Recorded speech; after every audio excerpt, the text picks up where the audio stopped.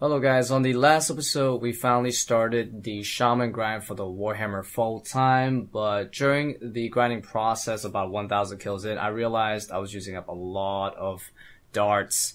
So I was deciding to work on Dragon Slayer 2 because the assembler would actually help me save a lot of these darts and also would help me kill shamans a little bit faster since it is more accuracy and damage bonus. So that's what we're working on right now. We're trying to get the stats and all the requirements for Dragon Slayer 2. So I just finished up almost everything. I just got 60 thieving, and that is all of my skilling stuff uh, pretty much wrapped up for Dragon Slayer 2. So all I gotta do is one quest, I believe, which is the Tail of Two Cats, and then we are ready to go for some Dragon Slayer 2 content and Vorkath, of course. Finally, all the requirements are done, baby. Where is it, Slayer 2? Check everything. Everything, it is crossed off. Beautiful. What can I put this on? Herbler? Yes, I'm, of course I'm up for the Dragon Slayer 2 challenge, brother. Except this time, my stats are kind of whack. But it's still pretty good. Still pretty solid. My gear is probably way worse, honestly. That was an easy fight the uh, Zammy Hasta did a pretty good job. So, so I'm currently on the Vorkath part of the quest, and let me just show you guys a sneak preview of the setup that I'm going to be using for the actual Vorkath fights for the assembler. So as you can see, it's mainly a melee setup. My main weapon is going to be the Zamorakian Hasta. I've actually never used Hasta before at Vorkath, but I do have a lot of experience mailing Vorkath on my other accounts. So and you'll see this really interesting weapon I'm wearing. That's the bone dagger. And uh, I'll elaborate more on that once we actually do the real Vorkath fights. Because yeah, let's just get this quest done. Yes! Okay, now we can move on. I have to prepare for the final fight, which is Galvek, and uh, luckily for me, I do have a lot of Addy bolts from AFK Wyverns that I can use to make some Ruby bolts. So that's gonna be my primary uh, tactic against the boss is ruby bolts, and then probably on like the last uh, twenty uh, percent or something, I'll switch to diamond bolts. All right, let's just try with this setup. You know, pretty simple, max range. Ruby bolt switch, diamond bolt switch, uh, maybe one brew for emergency. A bit of prayer, anti fire, and range bot. So, emergency telly. We should be good. Ooh, yikes. Oh my god, right off the bat with a ruby bolt. Oh my god, another ruby bolt. I'm just ruby bolting this bastard, dude. I love it. This is so good. Alright. Alright, alright. 42 HP, 13 HP. Come on, Diamond Bolt. Diamond Bolt. Let's go. What? 1 HP? Seriously?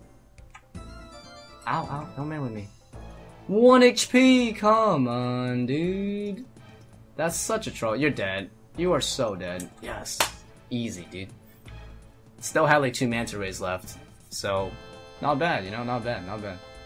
The ruby pulse though went so hard in the beginning, so let's just say I got a little lucky. I might I might have needed, you know, some good RNG to pull that off.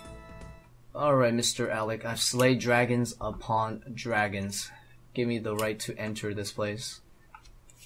Okay, it's time to get that little, uh, thank you friend, you helped us fill a library of knowledge. Secrets that you have uncovered are worth more than any coin.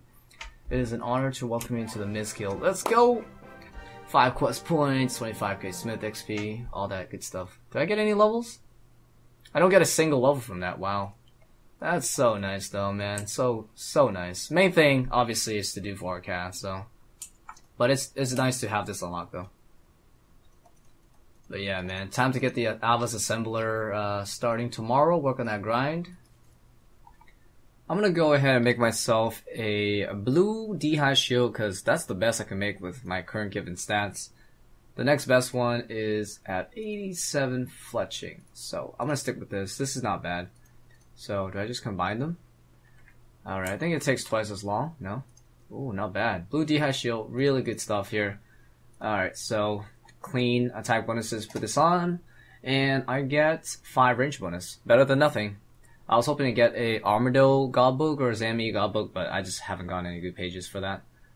Alright, so this is my typical gear for Wyverns, right? My shield. But I'm gonna have the Blue D'hide shield, so 190 range bonus, really good. I can only put this on after I de-aggro, but after that, you know, 10 minutes of that, I get to wear that new shield. And yeah, kick some Wyvern AFK ass. Get this XP real quick. Yes, 81 farming. Awesome. I can grow dragon fruit trees. That's cool. Another shaman clue. Please be good. Oh, ancient D'hide boots. Wait, eh, I already have one of these, but red cavalier. Okay, that's cool. Another unique item. Damn, it's one mil. This thing's one mil. Oh yeah, D'hide boots are still one mil. Popping, dude. Thanks. Oh yeah, one of the better unlocks for the Miss skill is oh the ability to just enchant any Dragonstone jewelry. So nice, man. Not having to go to different places for that, so it's really good. Alright, it's time to go and actually get these 50 kills, or maybe if I get lucky, you know, even less. For this assembler, we're gonna do the melee setup, just cause I, I really don't want to do rune crossbow without elite void, so I'm just gonna go and try out this melee stuff. Should be okay. I should bring my dagger with me though. But I pre-potted, as you can see, and yeah. I'm just gonna get kicked out to Vorkath, and basically I'll teleport a Clan Wars to leave Vorkath and reset my stats and then teleport back to Lunar Isle using my POH, you know, for the round trip. Let's give this a try.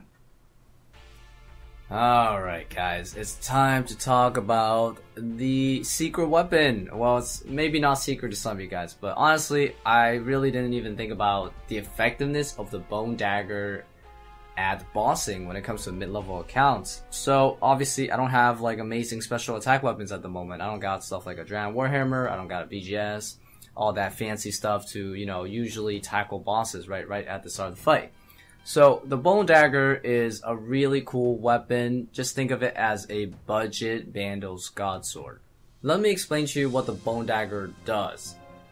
In simple terms, whatever the Bone Dagger special attack does for damage, it will lower the opponent's defense by that much. So if I hit a 20 on the monster, it'll lower its defense by 20.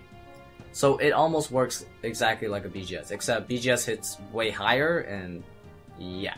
But this weapon is really interesting because the special attack will always land if it's the first hit of the fight against anything.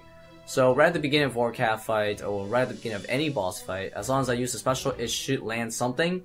Now don't be fooled, you might tell me that, oh, I still see a zero from time to time.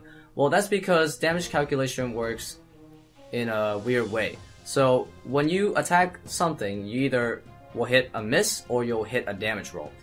However, even if you go to the damage roll, there's still a chance you'll hit a zero because it's zero to whatever the max hit is, right?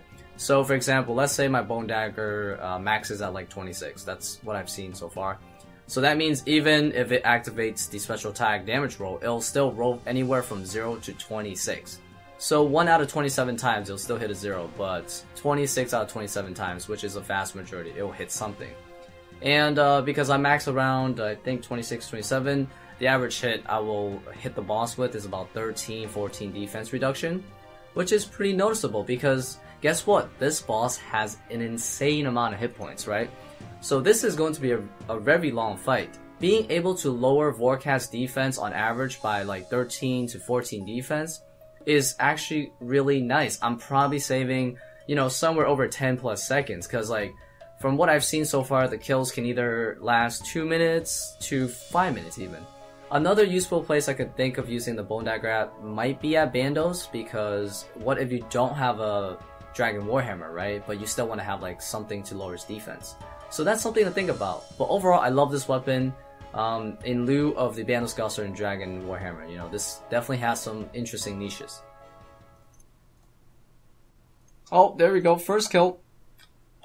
Very nice, dude. It's not even that bad, honestly. 246, dude. Not even that bad, honestly. I I think we had some pretty decent RNG kill there, but um, I feel like I can probably do multiple kill trips, you know, even with this setup here, so I think I'm gonna go for that. Just just go for a few kills per trip, you know. 226 new PB. Let's get it. There we go. Oh my god, this is probably my slowest kill Four minutes and 57 seconds. Okay, so this is probably like the super slow range. Sometimes, you know, I can get a two minute kill, and other times I'll get like a five minute kill. That seems to be kind of how it is. Oh, that was kind of nasty to navigate. I got stuck between all the different poison pools right there. Whew, that was a little scary, man. Low HP. Come on. Dragon Bolt's nice. My first Dragon Bolt drop. These are gonna be super useful in the future. Gonna use that shit probably at the Inferno and stuff. New personal best. Let's go. 220. Alright, did 20 kills today. Pretty good rewards here. Got some uh, rat talismans. I don't think I'll be ever using that, but yes, first 20 kills, man. Really good stuff. Really good stuff. Oh shit, I just hit a 46. Oh baby, that might be my max hit, honestly. Some kills are just so slow. 30 kills though. Alright, this inventory is so dumb, bro. 8 rune kiteshields. Oh man. Do you know how many ice trolls I would have to kill for 8 rune kiteshields? A lot. Too many. Ooh, that was a rough one now. Oh, Vorkath's head! Oh, Jesus. Oh, man. I was trying to go for 50 kills, man. It was I was having actually a lot of fun here, but uh nice, dude. Awesome, awesome. I got my Vorkath's head already. 10 kills early. All right. That's actually really awesome, dude. Oh, whoa, 1 HP. Yikes. Fuck me, dude. I better not die. Alright, I fucking survived, boys. I'm double eating up.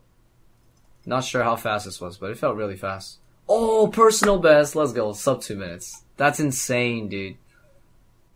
Wow, that's a 23 second PB right there. Huh. I decided to go for the 50 kills, and of course getting the new uh, Fate's Hugger Pit. Oh, I died. Well, see you later. But yeah, uh, it's worth it. Might as well, right? 50 kills for the guarantee hit.